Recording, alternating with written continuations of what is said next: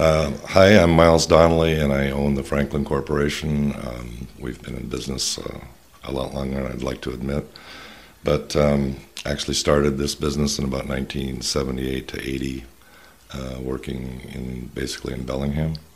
Uh, most of the people that have been interviewed today, I've had long-term relationships with. Uh, built a lot of projects with uh, the architects that were interviewed.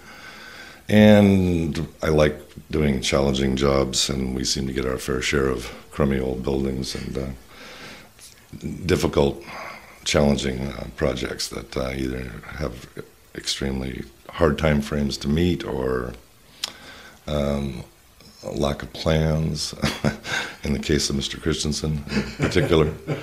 but um, they're great architects, and um, I like working with them. The, the finished product has always been something we've been proud of, and, and we've won some awards doing so with their designs. And uh, so they're, they're great relationships, and I, I really enjoy doing what I'm doing. I wouldn't be doing it this long if I didn't, I guess.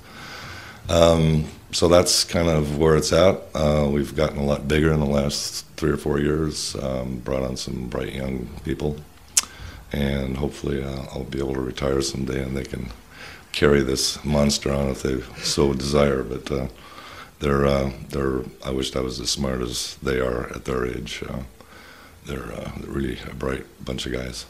So, um, they've allowed us to get bigger, do bigger projects, uh, and more of them at the same time. Um, that's been challenging. And so we've gone from basically our mom and pop, I guess, to a, a decent sized construction company. Um, we like doing what we're doing. Um, it's very important to us that uh, we end up with a happy client.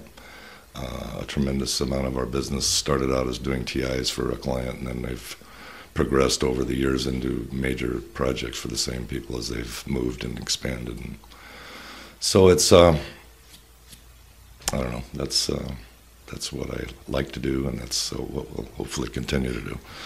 That's the thing that was really clear to me today is uh, people were here, came here to do these videos because of you, the relationships with you. Why do you think that, you know, how have these relationships grown and developed over the years?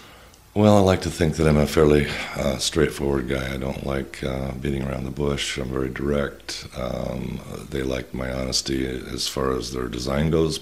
Um, if something doesn't physically work, I can usually come up with a solution, and they like the fact that I'll come back to them with maybe a better way to, to peel the onion, and uh, they can incorporate that into their design. So, um, thinking on your feet, and, and, especially in old buildings that need to be uh, um, brought up to speed as far as earthquake codes or whatever and not lose the integrity of the design. Uh, it's very important that you can uh, kind of think outside the box. So a lot of the projects we've done are because of that.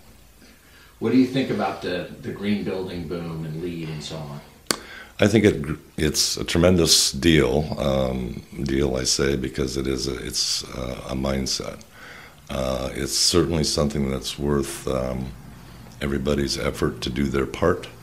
Um, I wished it wasn't as expensive and um, especially for the client. I mean, if you have a client that is uh, serious about building something green, it's a, it's a hell of a commitment because it's a lot more expensive than I hope it will be in the future. Um, or I didn't say that right, but I hope it gets more uh, economically feasible to do it on, uh, and maybe on a lesser scale, but uh, to achieve the major portions that are really beneficial rather than the glitz. Um, it's getting a lot of media attention right now and everything green, and it's kind of like a bandwagon that everybody's jumping on. But so far, product um, product availability and stuff that meet the green certifications are overpriced, uh, and I hope to see that change in the future.